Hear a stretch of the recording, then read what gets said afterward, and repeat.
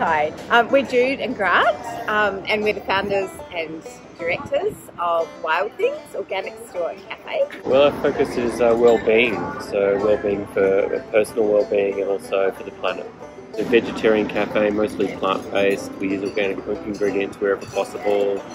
Packed with nutrients, packed with vegetables, packed with pure ingredients. There's no artificial fillers, no shortcuts. We just do good tasting, delicious vegetarian food. Food should taste so good that meat eaters will love it as well. So it's packed with delightfulness and deliciousness. We're sourcing from as local as we possibly can. We've got one farm that's less than an hour away we're getting some great beautiful greens and produce from there.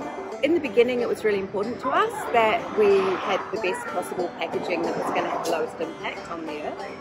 Packaging's been a challenge for us in that uh, we're such a takeaway society. We encourage people to eat in, but we find people just, they say they're having takeaway and then they drink it. And even though we're sourcing packaging that's sustainable, biodegradable and such, it's still single use. So in a sense, we still feel that that's still part of the problem is that all packaging is, is waste. And our Tetra Paks are a bit of an issue. We discovered that our local council was no longer taking them, and you can imagine as a cafe we have many.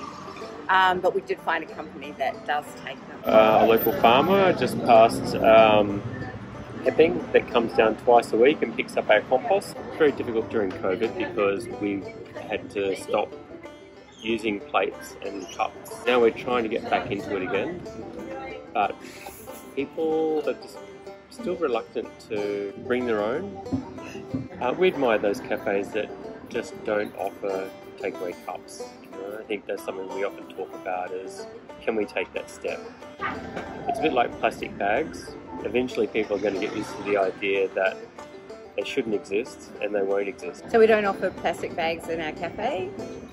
Um, I would like to see people bringing their own containers for food and that's an initiative that I would like to take on that we actually start offering a discount when people bring their own containers.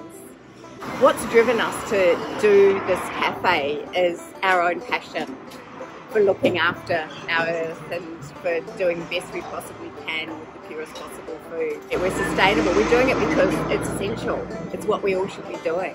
Staff want to work here because it suits, you know, it fits for their values and their standards and their life practices. You've got a passionate cook pouring heaps of love and inspiration into beautiful ingredients and it shows, it tastes, it, it, it, you know, gives you energy and you can feel that it's great food and I don't know that there's that many cafes that can offer that.